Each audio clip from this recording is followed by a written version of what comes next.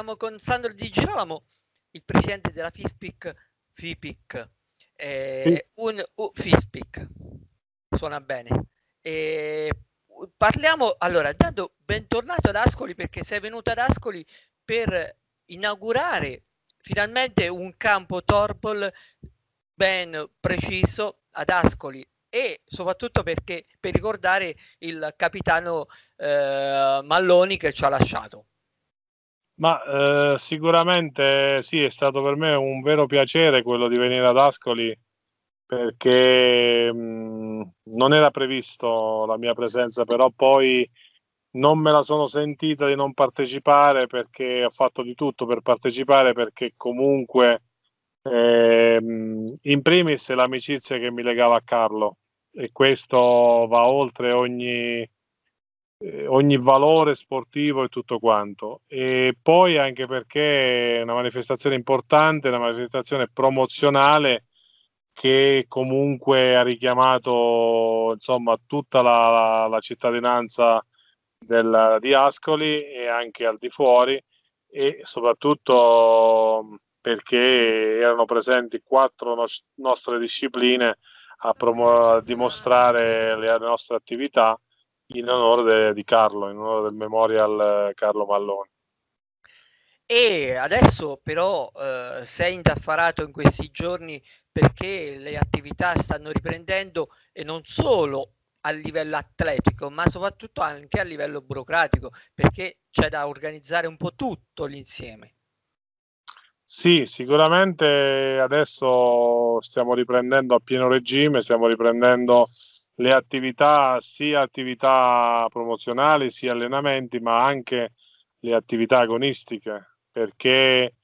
noi come federazione abbiamo preso una linea mh, ben chiara, forse anche a differenza di molte altre, dif- molte altre federazioni,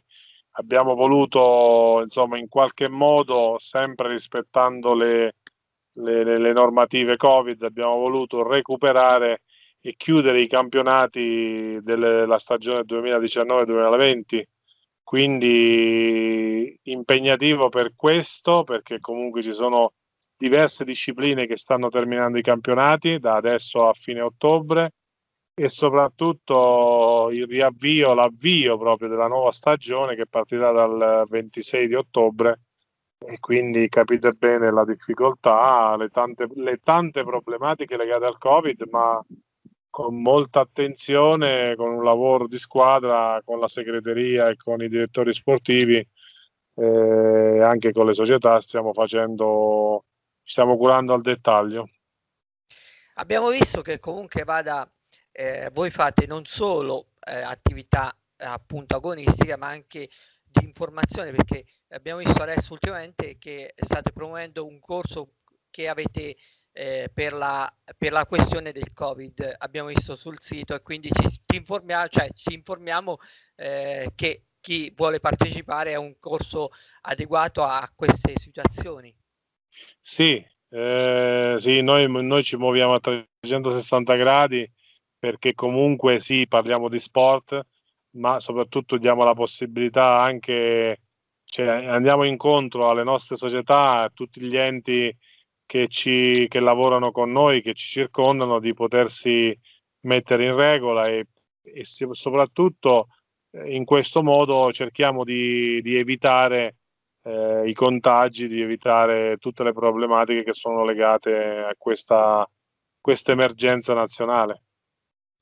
A questo punto concludiamo dicendo quali sono gli obiettivi adesso della federazione, ma soprattutto di Sandro, visto che è imminente poi il rinnovo delle cariche. Ma eh, allora il, l'obiettivo sicuramente è quello di fare bene con questa fine stagione, questo fine stagione con uh, queste gare importanti che sono rimaste eh, perché comunque curiamo come abbiamo sempre fatto al dettaglio tutte le nostre manifestazioni. E nel futuro sicuramente quella di, di, di, di, mm, di progettare questa federazione che vada sempre più forte, che vada sempre, si sviluppi sempre di più a livello proprio internazionale e nazionale E, insomma, la strada diciamo, è percorsa, cioè il solco è, l'abbiamo individuato, però adesso bisogna seguire la strada che abbiamo avviato e cercare di fare sempre meglio. E perfetto, allora noi ti salutiamo e intanto ti facciamo gli auguri eh, per il prossimo 20, ma poi gli auguri successivi, poi ci sentiremo dopo eh, le lezioni, così racconteremo a quel punto la, la partenza dei prossimi obiettivi che, che già hai indicato nella strada successiva. Io vi ringrazio e niente, ci sentiamo presto. Perfetto.